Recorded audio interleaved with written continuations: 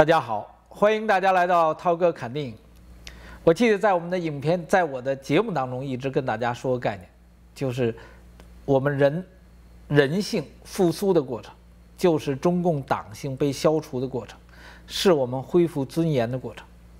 如果人性真正的复苏起来，其实作为普通的每一个人，在现实的国内的环境当中，你都会找回到自己做人的尊严。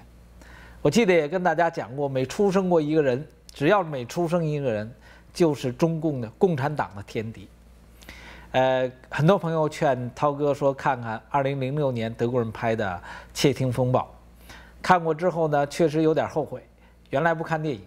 这个电影我觉得是非常非常经典的电影。那当年获得了奥斯卡的这个最佳这个外语片。因为他错过了其他几个两个比较主要的电影节，但是人们都认为，如果他当时赶上的话，同他同样可以拿下最佳影片。影片里阐述的大的背景是当初民主德国在崩溃之前，柏林墙在倒塌之前的故事。那个时候的民主德国处于一种经济濒于崩溃、物质匮乏的状况，在这个情况下。他描述着一个国安官员、国家安全部的官员上尉，他从一个极其冷漠的这个爱国主义的执行者，这个国家的政权的保卫者，逐渐转变成一个恢复做人的尊严的过程。影片的开始到影片的结束，特别是影片的结束，当那个作家写出一本书来。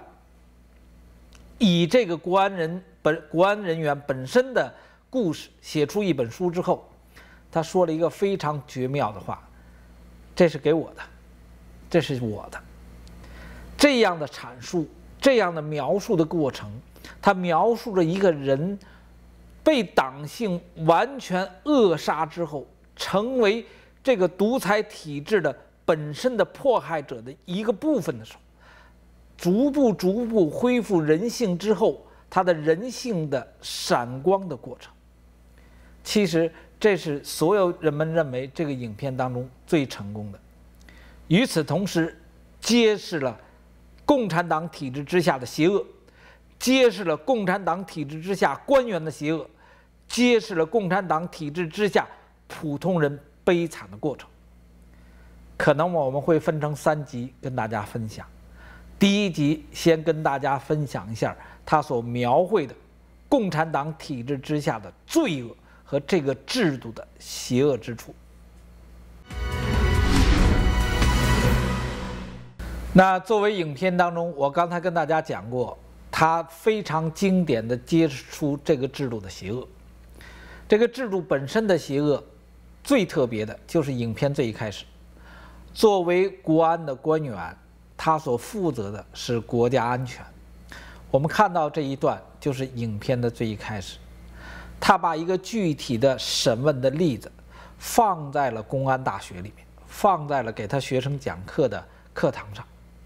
这样交错的过程，大家你要注意到，这里面有一个非常到位的地方。出了事情，他先把人抓了。他把人抓了之后，然后。无论这个人是否有错没错，只要他认为这个人是嫌疑犯，这个人是国家的敌人，他一定要在审讯过程中把他审成国家的敌人。至于他是和不是，一点不重要，关重要的是，作为这个官员本身，这个男主角本身，他扮演的国家安全官员，他认为。谁是间谍？谁是嫌疑犯？谁是国家敌人？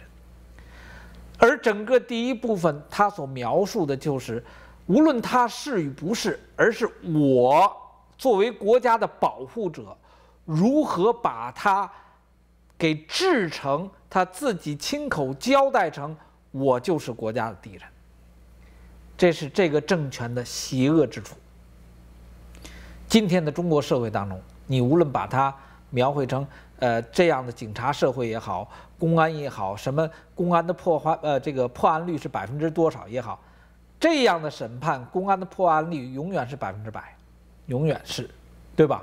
至于真的谁是真的凶手不重要，重要的是我被认被我认定的人，他必须承认他是凶手。所以，影片最一开始的过程，包括这个过程，它揭示出这个制度的邪恶。这是一个管制的社会，这不是服务的社会。所有的人都是这个制度的敌人，包括男主角自己。只要他恢复人性，在这段讲课当中，有一个学生提到了：你不让他睡觉，这是，这是。根本不人道的。那作为他自己，立刻画了一个骂号。那个学生有危险。我觉得这是影片当中最一开始就揭示出来这个制度在日常生活中它真实的一面，它的邪恶的一面。另外，另外一个部分在表现这个制度邪恶的，呃，是那个女主角，当她。被文化部长强奸之后，那也不叫强奸了，反正就是权力强奸之后，他自己不得不依附于这个部长，他不得不跟部长去约会。而作为影片里面的诗人，他知道了自己的女朋友之间的这个秘密，而这个秘密却是这个国安警察为了能够给他造成痛苦。而故意让他看到。我们跟大家讲过，一个共中共的共产党的体制最邪恶的地方是打击人的亲情，打击人的情感，打击人性的一面，拆散家庭。这个国安警察，我们后面会说他没有家庭，对吧？但是呢，他的操守做法是要把那正常人性的家庭拆散，在这个过程当中。诗人知道了女朋友跟部长之间的故事，诗人也理解作为自己的女朋友为什么要这么做。可是呢，当他的女朋友被他揭示出来自己跟部长之间有着这种肉体与权力之间交换时，那个女演员说了一段话。那我们现在看的这一幕，这就是女演员要外出，要跟这个卫生呃跟这个文化部长去碰头的时候，作为诗人，这位男主角他知道自己他去干嘛，就明确跟他讲挑白了这事儿，你不用去，你是一个你已经功成名就了，你有你的观众，你不用依附于他，你不用屈服于权力，在这个背景之下。女演员讲了这么一段话：这个制度，这整个系统，我们无力抗争。你有能力抗争吗？你没有。你的朋友，嗯，全国有名的那样的导演，他不是也选也选择了自杀吗？他的自杀，他的无奈，就是我们面对这个制度之下，我们真实的生活。我们没有任何抗争的力量。女演员直接跟自己的男朋友针对这件事情发生了冲突。作为男演员，作为这个男的诗人，看到自己的女伴被其他男人占有，而这个男人代表的是权力，他一点办法没有。尽管他的女伴是民主德国最知名的女演员，而他自己又是民主德国最有名的诗人作家之一，但面对权力，他是任人改、任人宰割的羔羊。那其实，在整个过程当中，就像这一段说的：“难道我们不需要他吗？难道我不需要这个体制吗？你现实的生活的一切。”你现在拥有的房子，你现在拥有的一切，都是这个制度给给予的。当你抛弃这个制度的时候，你这东西都没有了，可能你同样会受到伤害，连活都活不了。那在这一点上，不禁让我想到比如像中央电视台的那些女孩、那些 那些女播音们，那我们看到的，甭管是公共情妇，还是我嘴里说的公共痰盂，我相信有不好的女人，但我也相信有的女人跟这个女人的处境是一样。我们不便在影片里放那一段。当那个部长占有这个女人身体的时候，是把车门打开上来。上来之后就下手了。下手的时候，还跟女演员说：“你要说出来，你很喜欢，你想你喜欢要。”这就是这个制度下的官员的邪恶。这就是这个制度之下，做官者会以用权力强奸一切，占有一切。整个的制度是这个制度，这个制度下。在管理这个制度的人，拥有这个制度的人，他就拥有一切。在这个制度之下的人，对此是没有任何抗争之力的。如何抗争的呢？其实，就是影片的持续的这一段。这个女人最后怎么没去呢？跟男伴吵完架。他又无可奈何，到酒吧里喝杯酒，而这个时候的这个国安，这个国家安全人员，这个上尉，他已经听过了那首歌，他的人性的一部一部分在逐渐的复苏，同而他复苏的最起始最开始的时候，是在他窃听的过程中，作为一个孤独的男人，对这个女演员。多少有了情感的投入，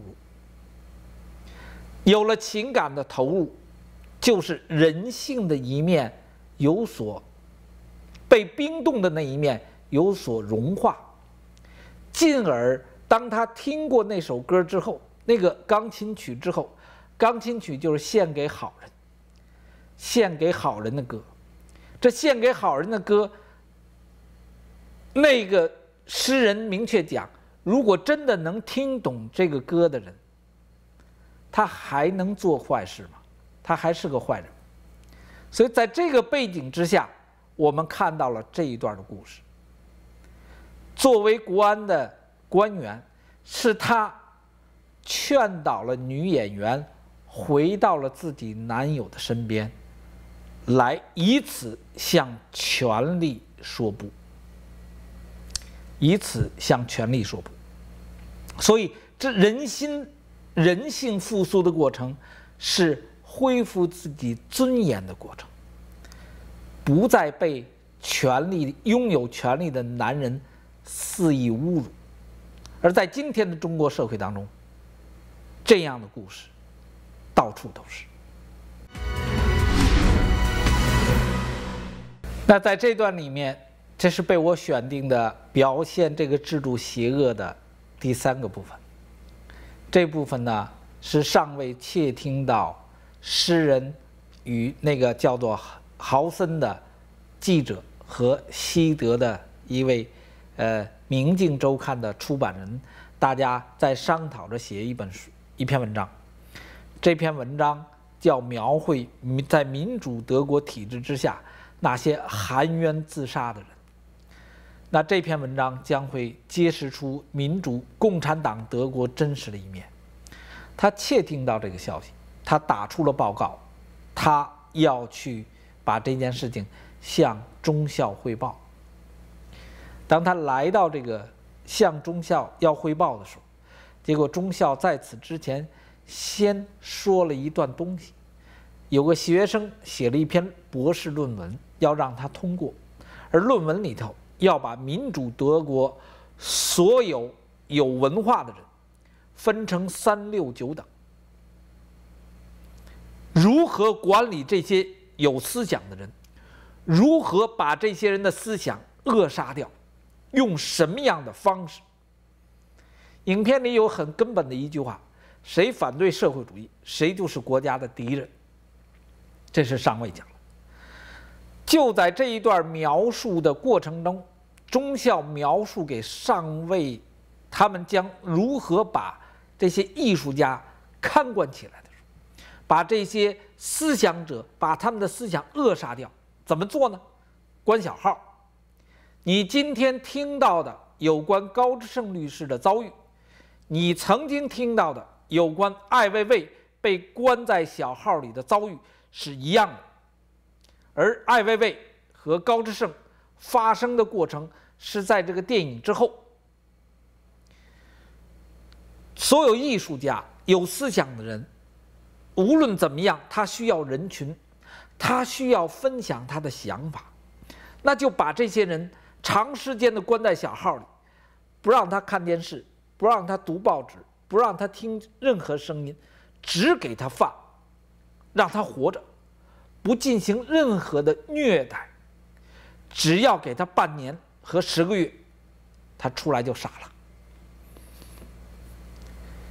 那作为上尉，在听到了忠孝的这一番陈述之后，这个时候的上尉已经出现了自己人性与党性这种相互搏击的过程，因为他已经在某种程度上已经帮了这个作家和这个女演员，并没有把所有东西汇报出来。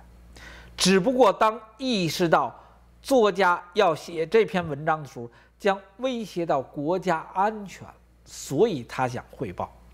但是当听到忠孝这一番话之后，他人性的一面向党性说不，他人性的一面向爱国主义说不。我觉得这是非常特别的，而那一番陈述都贯穿了。整个这个制度的邪恶，这个制度是要杀掉所有的人，这个制度是要把人性完全扼杀掉，这个制度是要把人当成猪一样，凡是有思想的人将断绝你思想的来源扼杀你的灵魂。那好这期节目就到这里谢谢大家再见。